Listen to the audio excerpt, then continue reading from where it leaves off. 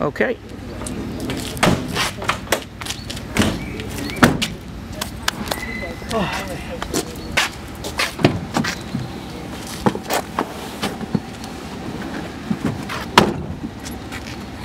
See,